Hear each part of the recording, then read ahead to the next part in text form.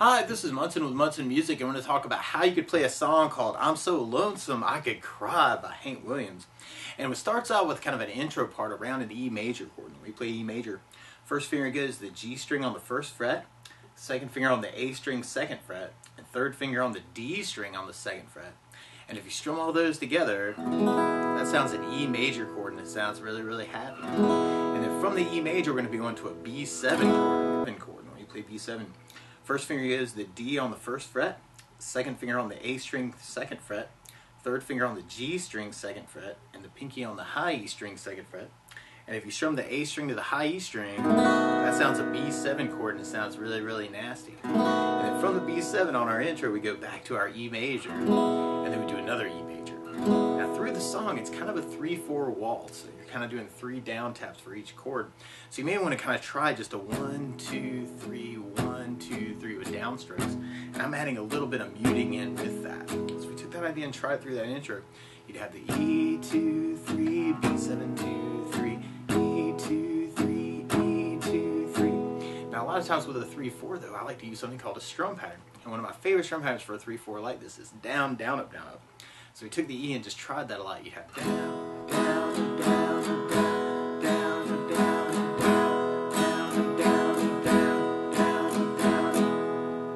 tried that through the intro. You'd have the E down, down, B7 down,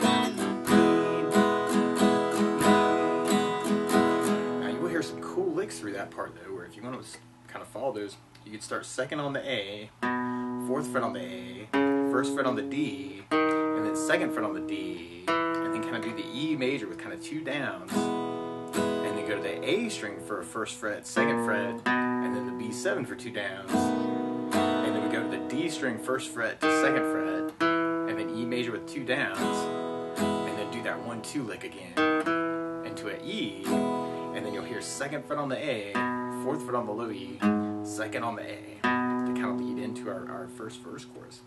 So you have two, four, one, two, E, E, one, two, B seven, one, two, E, E, one, two, E, two, four, two, to kind of lead into our, our verse part.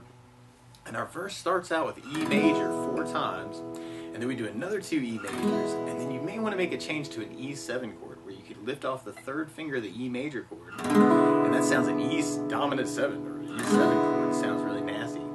Or you could even take the pinky and kind of add it in on the B string on the third fret. That's another way you may want to play your E7 through the song. And then from the E7, we'll be going to an A major we play A major, first finger goes the D on the second fret, second finger on the G string, second fret, and third finger on the B string, second fret. And if you strum all those together, that sounds an A major chord and it sounds really happy. Now you may also dig on kind of an A7 chord, where if you lift off the second finger, that sounds an A dominant 7. Or you could even kind of take the second finger and kind of readjust it, and then add in the pinky or the, or the third finger on the high E on the third fret give an A7 chord.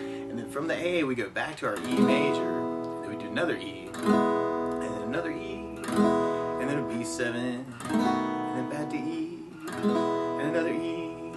So we tried that verse chorus with kind of our three down idea. We'd have E, E, there,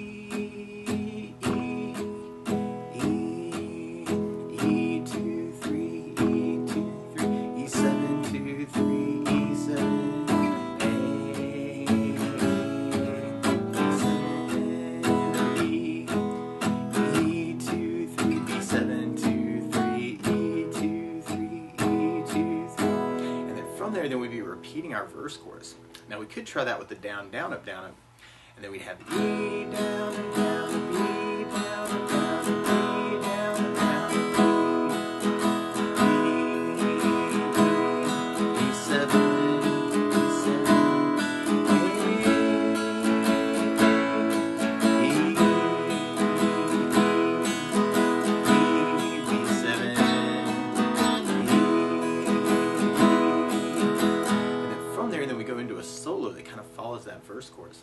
Now something else I think about adding to the song though is bass notes. And a lot of times on that first down, of the down, down, up, down, up, you could throw in a bass for the chord. So on the E you have the low E for your bass. On the B7 you have the A for the bass, down, up, down, up, bass, down, up, down. And on the A you'd have the A for the bass. So we try that next verse chorus with the bass down, up, down, up. We'd have E with the bass down, down, bass down, down,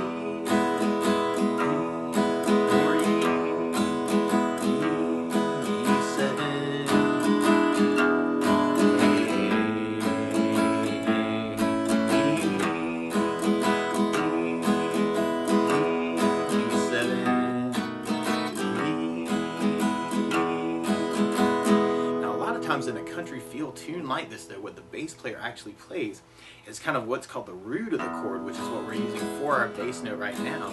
But a lot of times they'll alternate that with something called the fifth of the chords. On the E note, for instance, E, F, G, A, B, a B note is what we call the fifth. So you could kind of alternate too between the low E string for your bass and the A string for your bass. That can be kind of a cool way to do it, kind of a country wild side view.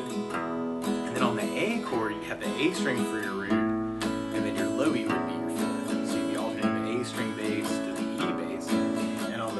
B7, you could do the A on the second fret to the low E string on the second fret for F sharp. So kind of moving the second finger from the A string to the low E string second, kind of for those bass notes. So we tried that through our next verse chorus. We'd have the E.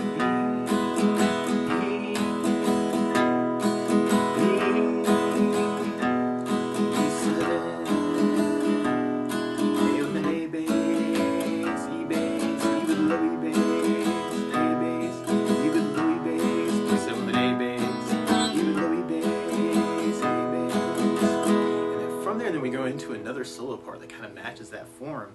But what you may want to do is kind of take all these ideas and kind of alternate between them. It can be kind of a cool idea too. You know, kind of mixing it up.